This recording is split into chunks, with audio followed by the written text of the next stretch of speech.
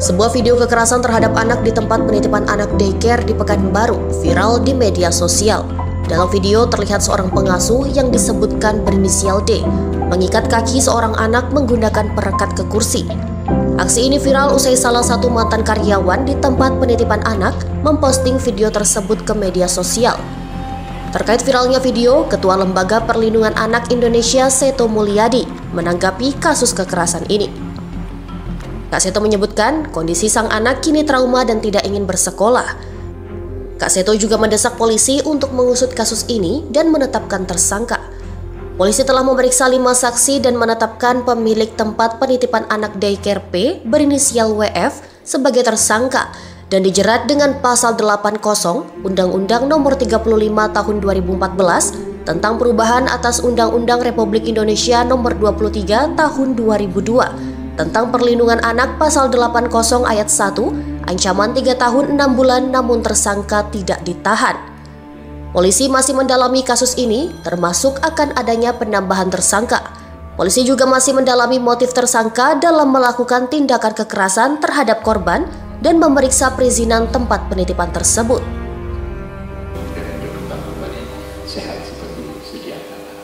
Mungkin persamaannya juga adalah ternyata tidak atau belum ada izin.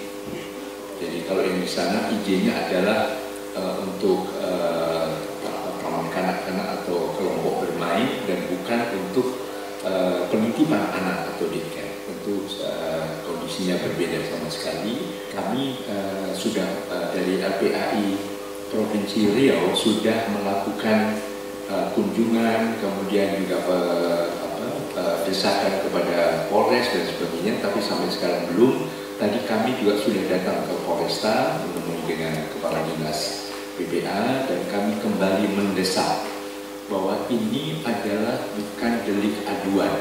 Jadi meskipun tidak ada pengaduan, meskipun yang mungkin damai dan sebagainya, silakan mungkin damai meminta maaf, tetapi hukum tetap harus ditegakkan, pemidanaan tetap harus berlangsung. Nah, memang sekarang ini yang kita cek itu berdasarkan video nah, di mana video itu didapat dari uh, karyawan yang pernah bekerja di sana kemudian tidak tidak bekerja lagi uh, sehingga dari karyawan tersebut Bang, itu dari keterangan pelaku siapa, iya.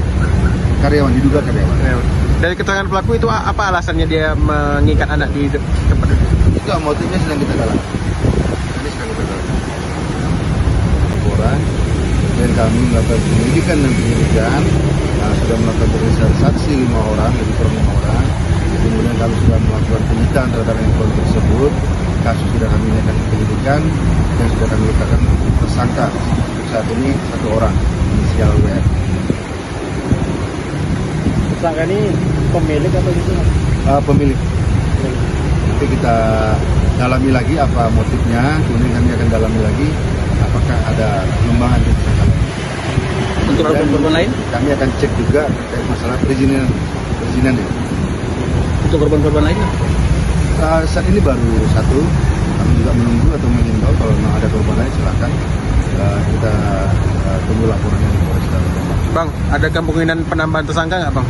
Uh, dari hasil pemeriksaan tersangka nanti kami dalami apakah ada nanti kami gelar ya tersangka ditahan nih?